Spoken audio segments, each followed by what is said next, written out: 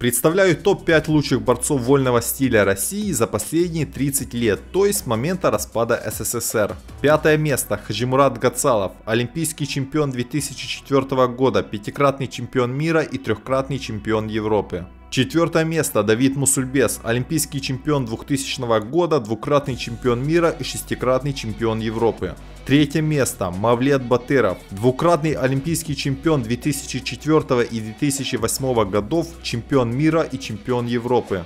Второе место Абдурашид Садулаев, двукратный олимпийский чемпион 2016 и 2020 годов, пятикратный чемпион мира, четырехкратный чемпион Европы и двукратный победитель европейских игр. И первое место Бувайсар Сайтиев, трехкратный олимпийский чемпион 1996, 2004 и 2008 годов, шестикратный чемпион мира, шестикратный чемпион Европы и победитель игр доброй воли.